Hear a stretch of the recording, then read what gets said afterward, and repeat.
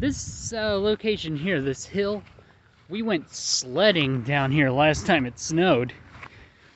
I'm gonna try and get me a sled.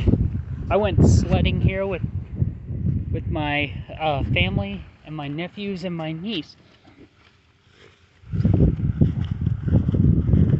We went down so many times and there were times where we actually made it across the road.